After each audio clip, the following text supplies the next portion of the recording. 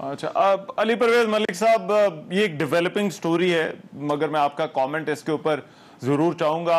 एक चीज़ जो कि दोनों तरफ़ असद उमर ने भी बात की और ऑन सेनेटर ऑन अब्बास साहब भी वही बात कर रहे हैं कि क्या इन वारंट गिरफ्तारी का जारी होना, इसका ताल्लुक आज की जो प्रेस कॉन्फ्रेंस थी जो मुस्लिम लीग नून के रहनुमाओं ने, जिसमें मरीम नवाज़ भी शामिल थी, उस प्रेस कॉन्फ्रेंस से इसका ताल्लुक है?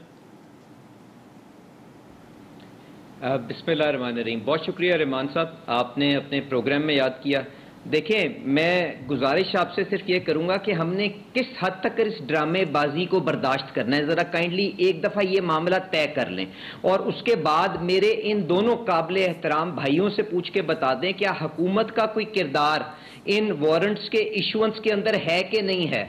और इसके साथ साथ अगर हुकूमत का कोई किरदार नहीं है और इमरान खान साहब ने खुद एक बेल करवाई हुई थी और जिसकी एक्सटेंशन के लिए वो आज अदालत में पेश नहीं हुए और जज साहब ने वो वारंट जारी कर दिया है। और उस सारी चीज़ का ये नजला हुकूमत के ऊपर गिराना चाहते हैं तो मुझे बताएँ, मैं इसका आपको क्या जवाब दे सकता हूँ? पर मैं आपके प्रोग्राम से जो गुजारिश करना चाहता हूँ, वो वो उन आला अदलिया के जजों से और जिस अदालत के ये वारंट्स इशू हुए हैं, उनसे मैं ये ज़रूर अपील करना चाहता हूँ कि आज एक दफ़ा फिर उस शख्स का, उस शख्स की जमात का किरदार देख लें, जिसने, जिसके सर के ऊपर बंदूक रख के आपने माजरत लिखवाई थी।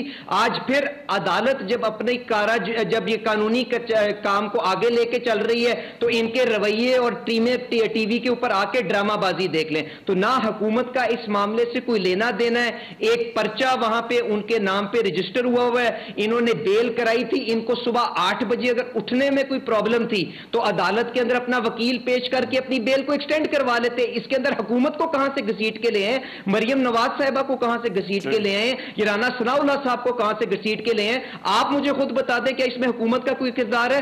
तो खुदा के लिए हर चीज़ के ऊपर सियासत करना छोड़ दें। आपने इस मुल्क की खारजा पॉलिसी का पहले मज़ाक उड़ा लिया है। आपने यहाँ पे इकोनॉमिक टेररिज्म करने की आप कोशिश के अंदर पकड़े गए हैं। आपने फौज के अंदर बगावत करने की तरगीब आप करते हुए पकड़े गए तो खुदा के लिए कहीं तो वो red line Imran Khan red line नहीं है। इस अच्छा। रियासत के मफादात रेड लाइन है। तो काइंडली इस तरह से इदारों की हम्म। तजलील और मज़ाक मत उड़ाए मैं ये गुजारिश कर रहा हूँ